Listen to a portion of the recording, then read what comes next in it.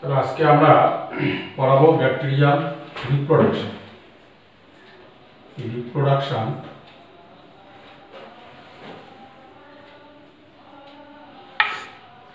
in bacteria.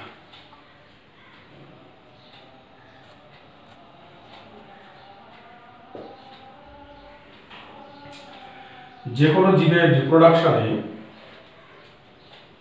সাধারণত দুই রকম ভাবে হয়। ব্যাকটেরিয়া রিপ্রোডাকশনও দুই রকম ভাবে ঘটে। একটা হলো asexual reproduction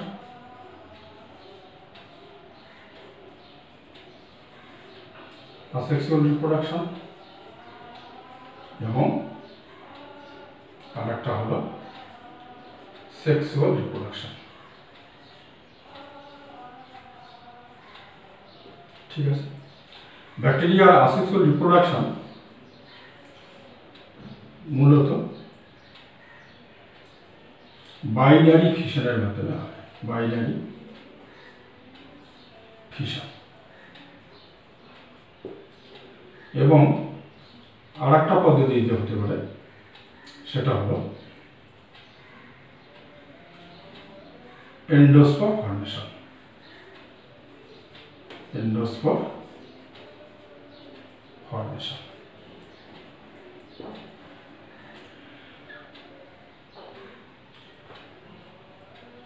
bacteria asexual reproduction binary ফিশনের মাধ্যমে কীভাবে ঘটে?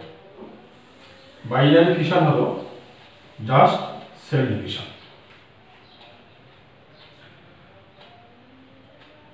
ধরো এটা একটা ব্যাকটেরিয়া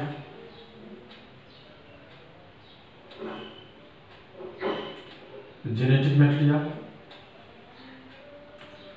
এই ব্যাকটেরিয়া অ্যামাইটোসিস প্রক্রিয়ায় অ্যামাইটোসিস প্রক্রিয়ায় দুটি ব্যাকটেরিয়ায় পরিণত হয়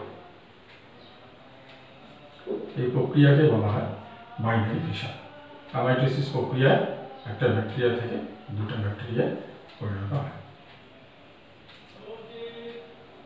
এটা কীভাবে ঘটে?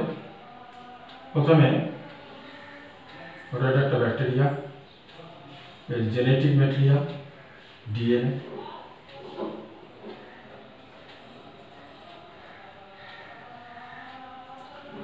প্রথমে ডিএনএ রেপ্লিকেশন ঘটে। রেপ্লিকেশন অফ ডিএনএ তবে ডিএনএ ডাবলিং হয়ে যায়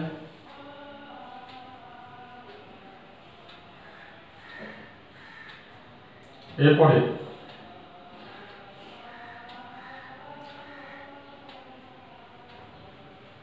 মেসোজমের সাহায্যে আমরা জানি যে অনেক ব্যাকটেরিয়ায় মেসোজম থাকে। ওই মেসোজমের সাহায্যে ওটা একটা ব্যাকটেরিয়া এখানে মেসোজম এখানে মেসোজম আছে। একটা ডিএনএ একটা মেসোজমের সঙ্গে যুক্ত হয় আর একটা ডিএনএ আর একটা মেসোজমের সঙ্গে যুক্ত হয়। এরপর ব্যাকটেরিয়ার সেল যখন এনলার্জ করে যায়, যখন এটা আকৃতি বড় হয়, তখন মেসোজম তুলনামূলকভাবে দূরে সরে যায়। ফলে একটা ডিএনএ পাশে চলে আসে, আর একটা ডিএনএ আর এক মেরুর দিকে অবস্থান করে। এরপরে কি ঘটে? দুই মেরুতে থাকা ডিএনএর মধ্যে মাঝে ধীরে ধীরে সেটটা ফর্মেশন হয়। সেপ্টা ফর্মেশন হয় এবং দুটো ব্যাকটেরিয়া তৈরি করে। ব্যাকটেরিয়ার বাইনারি ফিশন এইভাবে ঘটে। এবারে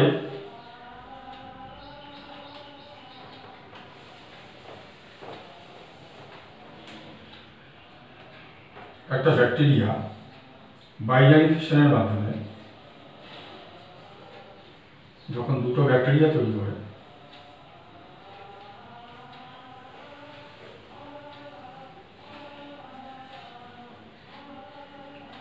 তাহলে এখানে অ্যামাইটোসিস প্রক্রিয়া দুটো ব্যাকটেরিয়া তৈরি করবে আবার দুটো ব্যাকটেরিয়া থেকে চারটা ব্যাকটেরিয়া তৈরি হবে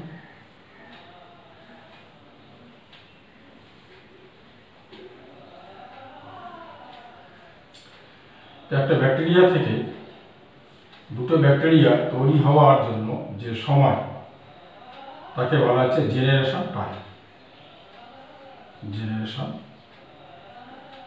টাইম বলা হয়। এবার এই জেনারেশন টাইম ব্যাকটেরিয়ার ক্ষেত্রে সাধারণত এক ঘণ্টা,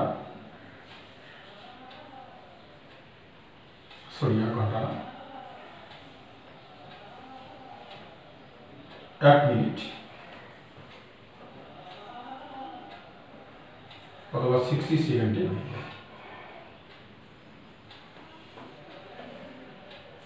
এখান থেকে এরকম প্রশ্ন আসে যে, একটা কালচার মিডিয়াতে যদি এক কাপ ব্যাকটেরিয়া তৈরি করতে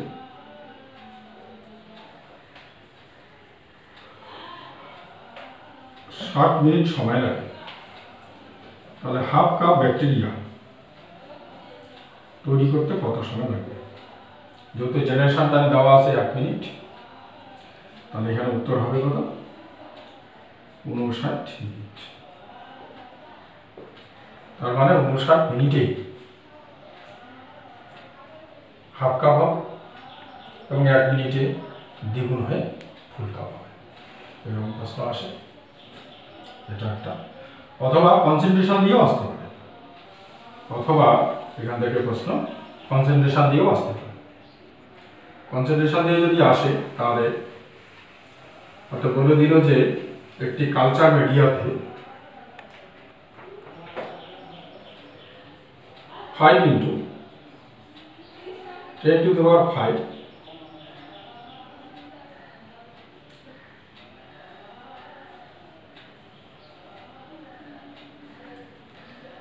এত ব্যাকটেরিয়া আছে। জেনারেশন দাম দিল generation time thirty five minute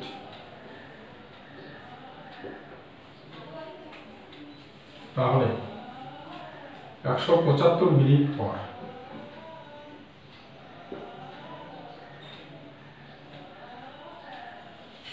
একশো পঁচাত্তর মিনিট পর। কনসেন্ট্রেশন কত হবে? তবে আমরা এটা কীভাবে বের করব? একশো পঁচাত্তর বাই পঁয়ত্রিশ যদি করি কত হয়? ফাইভ টাইমস তাহলে টোটাল কনসেন্ট্রেশন হবে টোটাল কনসেন্ট্রেশন হবে two to the power into প্রাথমিক কনসেন্ট্রেশন অর্থাৎ এখানে করুন two to the five into five into ten to the power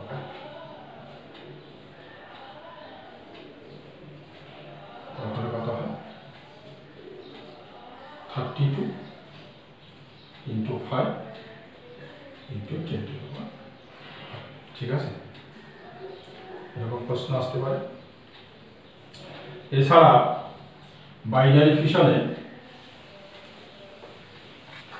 কোনো ব্যাকটেরিয়া যখন দুটি ব্যাকটেরিয়া পরিণত হয়, তা ফেভারেবল কন্ডিশনে বাইনারি ফিশন ঘটে। একটা ব্যাকটেরিয়া আমাইটোসিস দুটি ব্যাকটেরিয়া যদি কন্ডিশন ফেভারেবল হয়, তাহলে এই ব্যাকটেরিয়া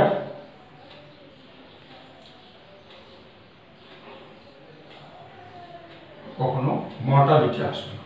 অর্থাৎ এই ক্ষেত্রে ইমর্টাল হতে পারে ইমর্টাল ঠিক আছে? ততটুকু ভালো বাইরের visa next endospore foundation formation second sexual reproduction হলো endospore formation endospore formation you know endospoor formation endospoor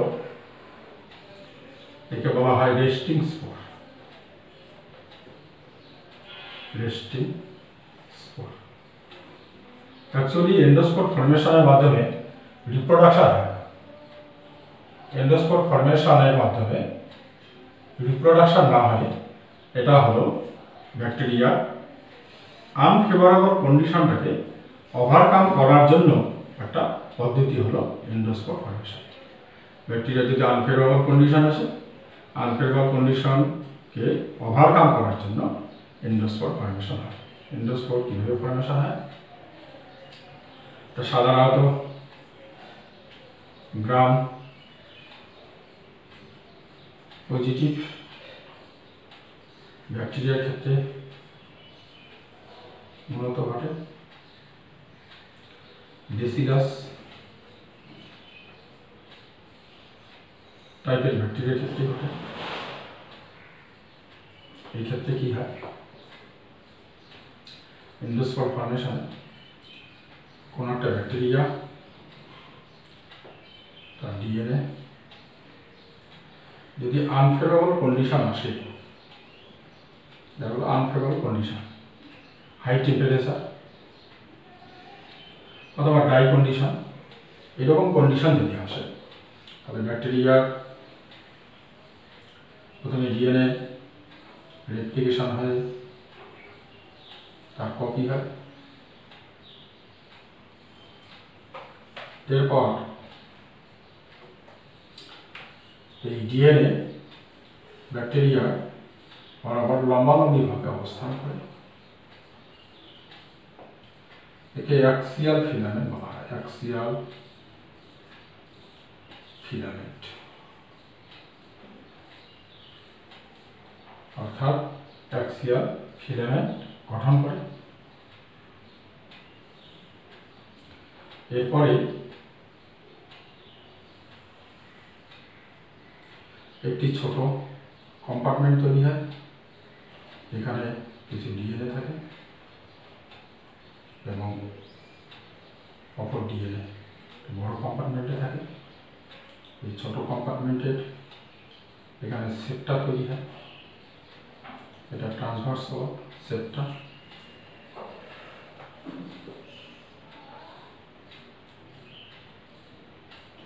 এই অংশটাকে বলা হয় ফোর আর বড় অংশটাকে বলা হয় মাদার সেল। ঠিক আছে? এরপর কি ঘটে?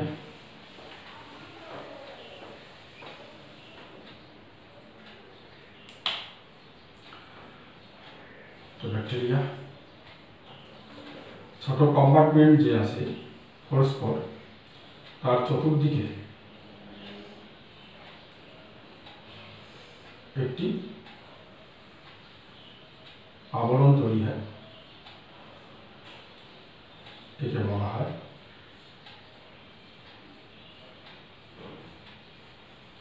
কোর ওয়াল কোর ওয়াল তৈরি হয় নেক্সট ধাপে কোর ওয়াল ডিএনএ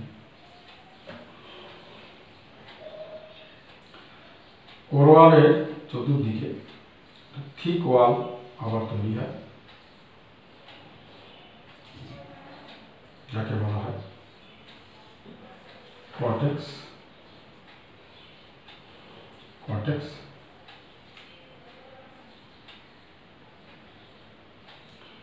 এবং মাদার সেলের ডিএনএ ধীরে ধীরে ডিসইন্টিগ্রেট করে দেয়, আস্তে আস্তে নষ্ট হয়ে যায়। এরপরে কি হয় প্রথমে ডিএনএ এর বাইরে কোরওয়া তার বাইরে কটেক্স এবং তার বাইরে আরেকটি আবরণ তৈরি হয় যাকে বলা হয় কোট বলা হয় কোট বলা হয় এবং কোনো কোনো ক্ষেত্রে, কোনো কোনো ক্ষেত্রে এর বাইরেও একটি বিশেষ আস্তরণ তৈরি হয়। হেয়ার লাইক আস্তরণ, ঠিক চুলের মতো একে বলা হয় এক্সোস্পোরিয়াম এবং এই সময় মাদার সেল থেকে এটা মনে রাখবে খুব important dipicolinic acid synthesis হয়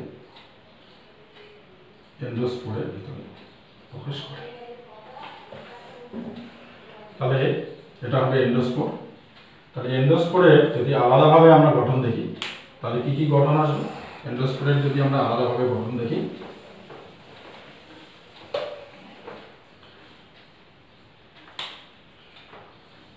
এন্ডোস্পোরের সবার ভিতরে।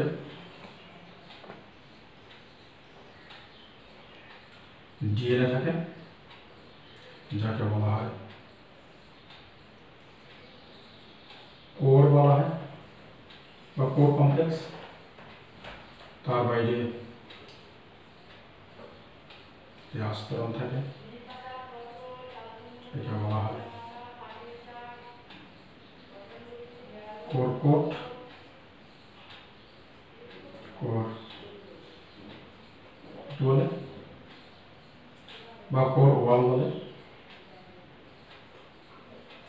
কোরওয়াল কোরওয়াল মূলত পেপটাইডো গ্লাইকেন দ্বারা তৈরি পেপটাইডো গ্লাইকেন দ্বারা তৈরি এর বাইরে একটা থিক ওয়াল তৈরি হয়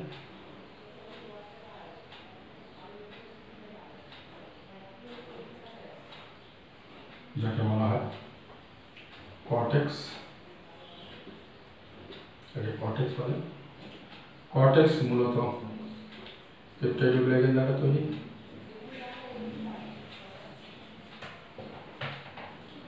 তবে এখানে ক্লোজলি ক্লোজলি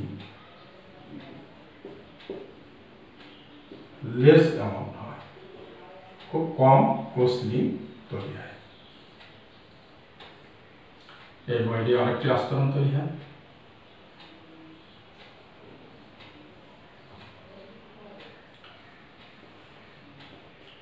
যাকে পোর্ট বলা হয়। এবং তার বাইরে হেয়ার লাইক আস্তরণ তৈরি হয়। যাকে এক্সোস্পোরিয়াম এক্সোস্পোরিয়াম এই হলো এন্ডোস্পোরের গঠন এন্ডোস্পোর ঠিক আছে